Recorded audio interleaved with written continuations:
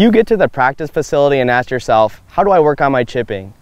I'm Sam Vosser, lead golf instructor for the Sanford Power Golf Academy and with my good friends at US Golf TV. And today I'm going to give you the one simple and effective drill that's going to help your distance control with chipping. The first thing that you're going to need, you're going to need about five to seven golf balls. And you can use any club. So if you want to work on a bump and run, maybe you want to hit a little higher shot, you can even do this with bunker shots, which would be a little bit more advanced. Today I got my 54. I got a general area. So again, I have a little bit more depth to the green. I don't need a hole to actually hit at here. So what I'm gonna do is I'm actually gonna put a ball down and I'm gonna try to hit my first ball as close as I can to the edge of the green. Now again, this is gonna be a little bit more effective practice as opposed to just hitting it at the pin. You're gonna be a little bit more intentional and you're gonna be really locked into what you're doing with your golf club here. So Again, this is gonna be a little bit of a leapfrog game, but we're gonna do it in reverse. So you may have watched our putting video on lag putting, and there we played a game called leapfrog. So again, you know the game, leapfrog, we've all played it when we are younger. We're trying to get the ball to go a little bit past that previous ball. So anywhere, anywhere from two to four feet is gonna be a really, really good shot. So we're doing the same thing here, but we're actually gonna work backwards. So we're gonna play reverse leapfrog. So you can see out there, I've actually hit a ball that's pretty close to the edge of the fringe there. So that's kind of my starting point. So I've already hit this shot, but that would kind of start your leapfrog game. The goal is to try to get as close as possible to the edge of the green.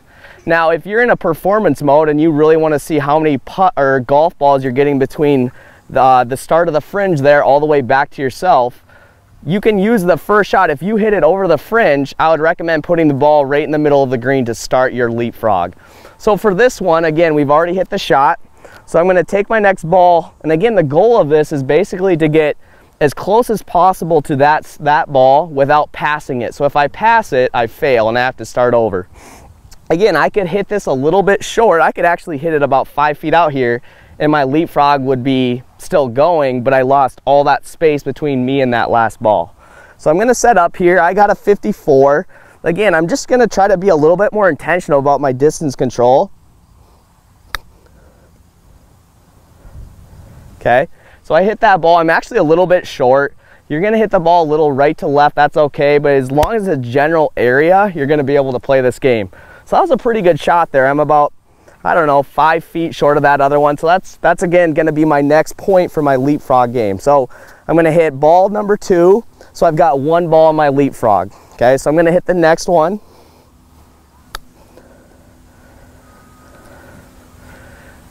Okay, so I'm at ball number two, so I'm doing a good job.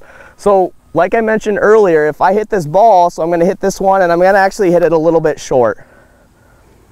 For some, it might not be a bad shot but I've lost all that distance in between, so it continues, all right? So you continue to go all the way back until you get close to your feet. So we're hitting, we're getting a little bit more touch.